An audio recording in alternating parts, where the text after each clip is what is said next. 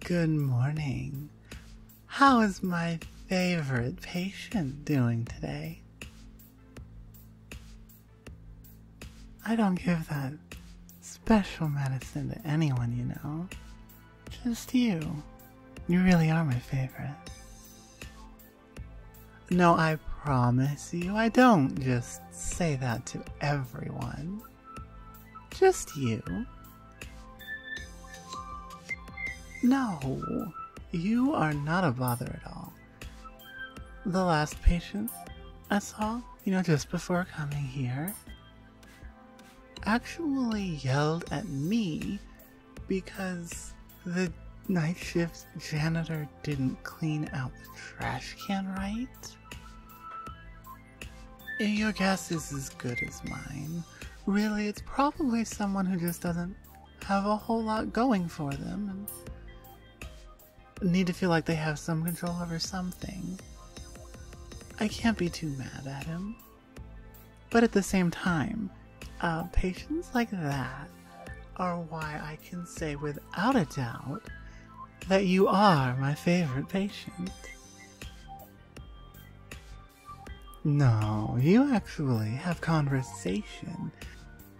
Do you know how rare that is?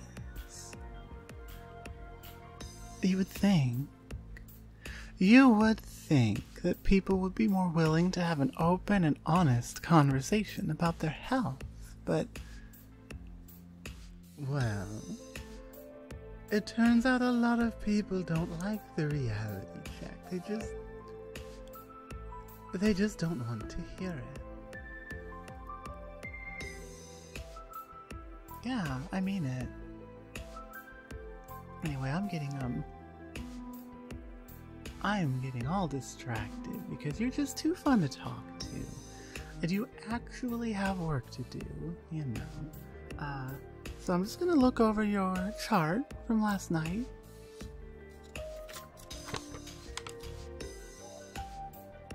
Yeah. No, everything is looking really good. If things continue this way, we, uh, we might be able to send you home in just another day or two. We just want to make sure that you've recovered from your surgery. You know. It's a real shame tearing your ACL like that. But you know, I have to say, throughout this whole process of healing, you've been very upbeat. It's a little odd, I will admit, a lot of patients in your shoes tend to get really focused on the things that they've lost because of the mobility challenges, right? But you, I don't know, I guess somehow you just are always able to look on the bright side. You know, I said I was gonna, um, go and get some actual work done. And I guess I am, technically, because, you know, a doctor's bedside manner is very important. Well, of course it doesn't hurt. It does take years of study and practice. But bedside manner is also very important. I mean, you wouldn't exactly want to have a different doctor by your side, right? I think you like my particular brand of practicing medicine. We certainly did last night, didn't you? I am a little bit surprised that you've recovered this quickly. Well, okay, um. To be very honest with you, I completely made that up. I had no idea it would actually work, and I don't really know why it did. And yes, for research purposes. With your permission, of course. You know, purely professional reasons. I need to just run a few more tests and make sure everything's functioning exactly as it should. I'm fairly sure you catch my meaning. Ah, but you see, the thing is, there is a certain protocol that has to be followed, and well, so long as you're a patient of mine, that that violates all kinds of ethics. Mm. Don't really like the idea of risking my career for that, though. So, what I was going to recommend, if you will agree with me, I think that the best thing we could do is get you healed up as quickly and thoroughly as possible, and then could share more of that very special medicine with you. Maybe a little bit more. Mm, don't be embarrassed. It just means that things are functioning as they should. It's maybe a little flattering. But you do need your rest still, just to make sure that everything recovers fully. Mm, no, no, no. We don't want to get any extraneous exercise before you're really ready for it. As enjoyable as that might be, we don't want to be putting you at risk. Because for the time being, I am still your doctor. And so we will unfortunately have to follow the rules until you're discharged. So I am going to need you to behave yourself and recover as quickly as you can. So, to help out with that, I brought you something. No note from the gift shop here. That's a little bit cliche, don't you think? No, I I made it myself. I actually uh very strongly believe you will like it, but I'm not going to tell you what it is. Now, officially, I am not allowed to give you any gifts. So, what we're going to do is, I'm going to just set this down and absent mindedly forget that it's here. When I walk out of the room, well, Oops, I lost it somewhere. But I would really like you to have it. Ah, um, I think it would be better if you wait until I'm out of the room. It's something you may want to have in private. Something to remember me by. Something to look forward to, perhaps. Oh, but that takes all the fun out of it. I get to sit here, at least for a little bit longer, and just haunt you with the fact that I know what it is and you don't. I'm quite sure you will love it, but, well, you don't get to know yet. Because if anyone walks in on you opening it while I'm in the room, it's very obvious. I gave it to you. And we can't have that. Well, that's why I set it down over here where I can reach it and you can't. But I promise you the wait will be so worth it. Well, that is if you like the special attention you've been getting. Deserve? You really don't see it, do you? You deserve so much more than you let yourself know. Mm. You are far too hard on yourself. You need someone else to help you out. Mm. Perhaps.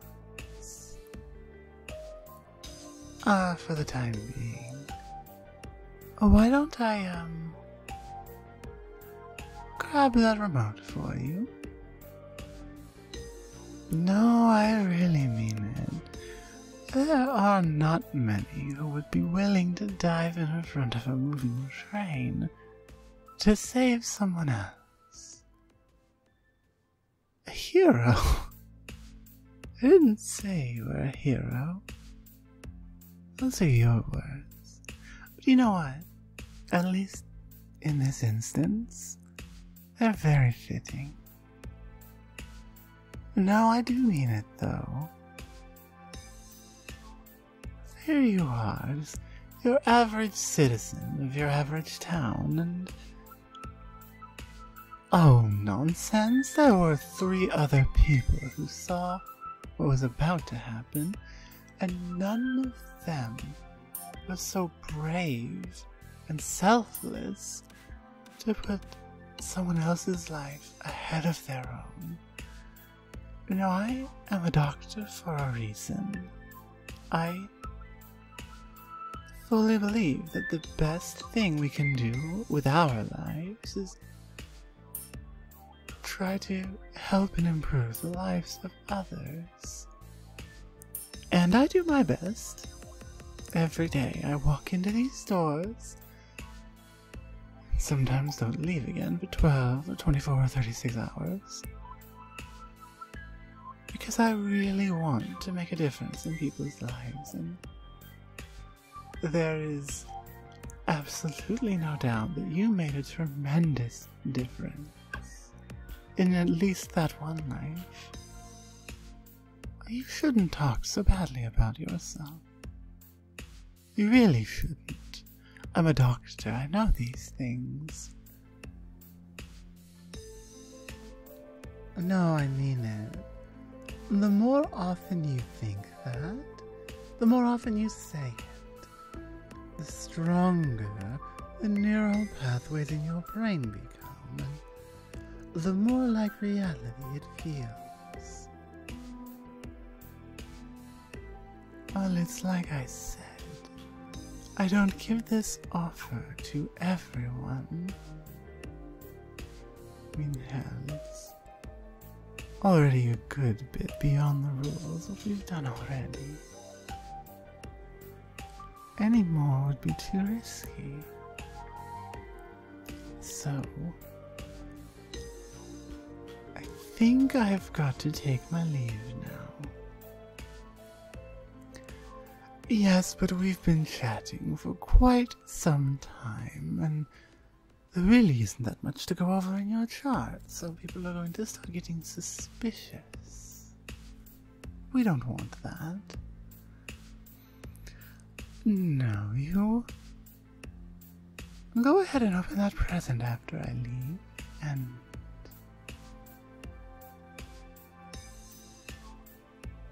Hmm. Let's just say I left you a very intimate surprise. Mm. Get well soon, darling.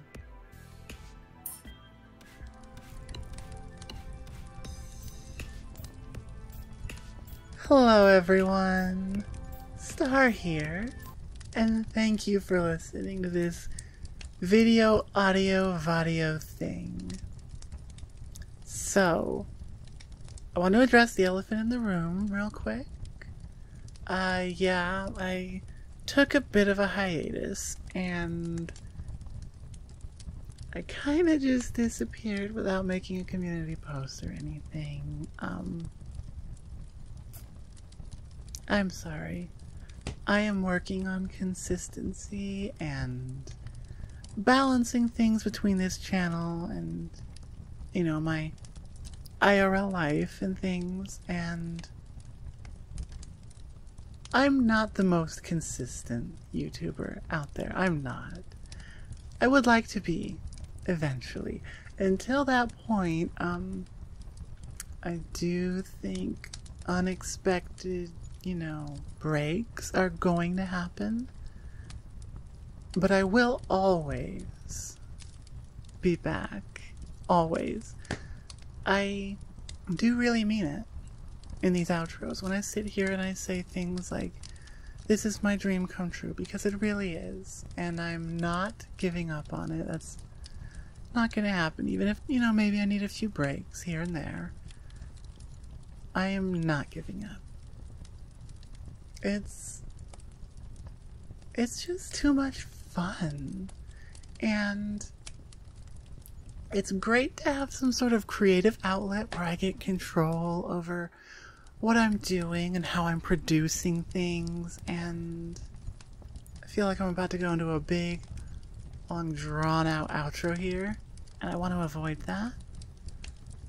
So, just to summarize everything I was thinking really um, nicely, I love making these video, audio, audio things. I do. Sometimes I struggle. I am new to being a creator. It's still a process for me. We've been here for about a year now. Um, it's been a year. I love this. I love recording. I love editing. I love well, I don't love uploading, it's just a thing I do, but I do like putting the tags in and things like that. It's just really enjoyable. So, hi, I'm here, I'm back. I'm sorry I kind of disappeared.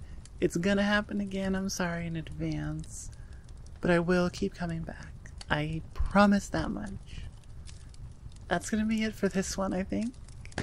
Uh, so if you've listened this far into the outro, which is a little longer than I intended, extra big thank you so, so much. And um, if you wouldn't mind just hitting the like and subscribe for me, please. Because if you've been here this long, I think, I think, I think you might, I don't know. Please do. I would appreciate it. Um, until next time, bye. Mwah.